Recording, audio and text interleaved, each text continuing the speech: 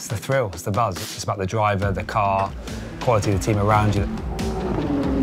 We've all been testing, we've all heard how fast people are. No one's seen it. Bullshit stops. We find out the truth this weekend.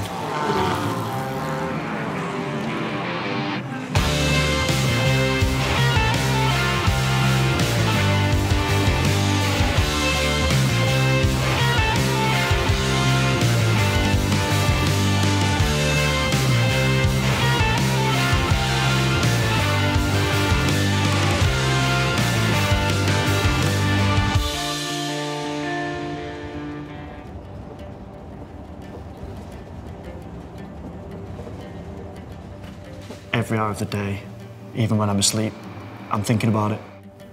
Every hour of the week is, is focused on enduro motorsport. Now then. Ah, not bad. Hey up, Andy, you alright?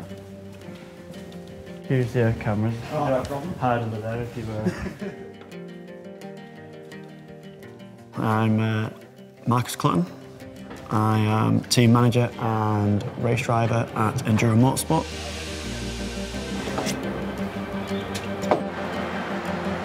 If we're short staffed, I'll be on the car, uh, I'll drive the truck.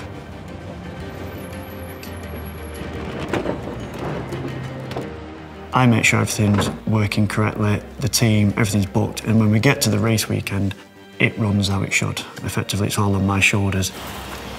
I kind of thought we do have some sort of chance, not to win the championship, but to do get some good results. But there's something, I think you're right there, there's something exciting about being the underdogs, if you like. I can't put my finger on why. That's going the other way. Okay. I still feel like an underdog as a driver. I'm told that I'm not. I don't believe it. I'm an ambitious driver. I drive like I'm still trying to prove to everybody. I still don't feel people know who I, who I am, or not that I'm anybody. I'm just me, but I drive with a lot of passion, um, and every every moment on the circuit counts for me. How much time's left in me, I don't know.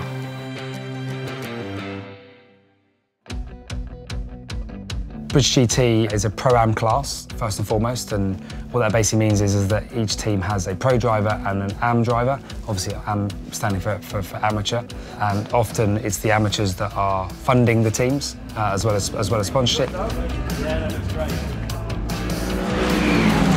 GT cars are cars that you see on the road, like Ferrari, Lamborghinis, Porsches, McLarens. Those cars are then modified to be race cars. They're about 10% road car, 90% race car. It then comes down to the quality of the team, reliability of the car, and, and ultimately the setup. And then, of course, obviously, the, the drivers doing their job.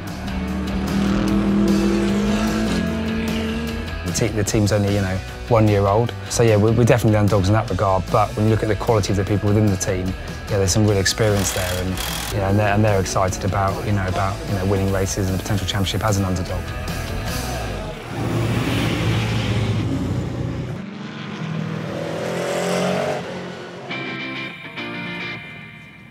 There's only six or seven of us in total, but I think we create a good, uh, a good little package.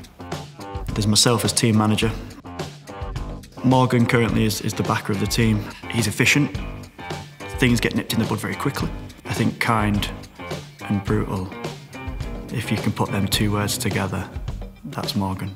Supports me uh, a lot. I'm getting fast as a bit of pressure on him, you see, so he's got, he's, got, he's got up his game, isn't he? Yeah, no. My partner, Elena, um, within the team, she does the media. I've kind of been roped into it because I don't come from that kind of background at all, but I love it. I absolutely love it. I've got a very good engineer that I'm super lucky to have on board. Toby Phillips, very well known uh, within the paddock um, across the world, not, not just in Britain. Uh, he comes along with Sam Cotton, his data engineer. Uh, they're a little package, they work great together. Just normal driving, don't take any life out of them until after the hairpin. Jeff Harding, my main mechanic. so we should be all right for the rest of the weekend. And then there's Phil Trickett, who, who does a lot of our events. There's not many drivers that you can have a good laugh with all the time, and he's always up for a good laugh. He has his moments where he's a bit unhappy and whatnot, but he's usually pretty, pretty up for a laugh. For me, it's more about enjoying it, and If you don't enjoy it, why would you come to work? And then Peter Hignett, he's now my truck driver and he's there to catch me when I fall. Um, and and he's, he's doing a good job of that. You know, he, sometimes he has to pull me to one side and say, look, you're doing this wrong, blah, blah, blah. We need to do this. Oh. I'm very lucky to have the people around me that I do.